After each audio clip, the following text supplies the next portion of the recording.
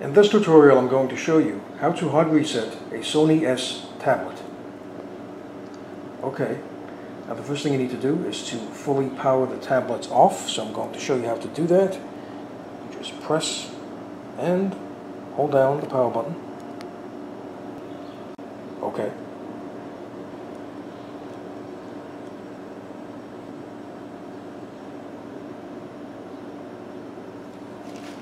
Okay, now with the tablet fully powered off, you need to press and hold down the volume up button and the power button at the same time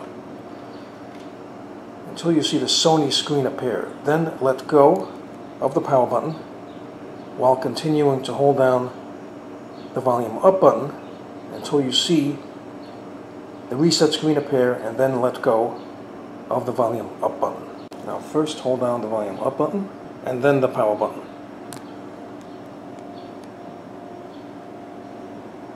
Okay, now let go of the power button.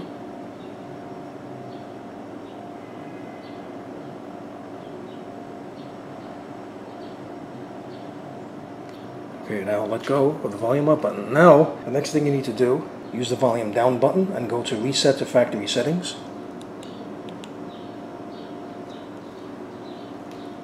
Now press the power button. Using the volume down button, go to yes delete all user data.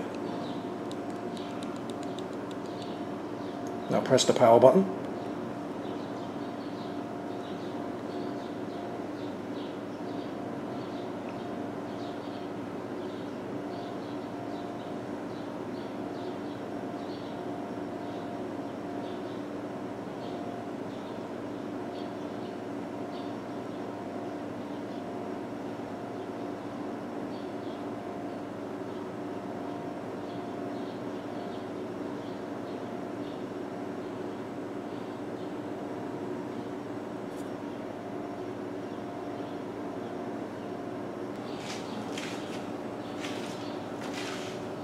And there you go. The hard reset is now complete.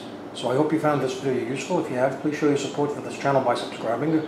Feel free to leave comments. Please like up this video, and thank you for tuning in.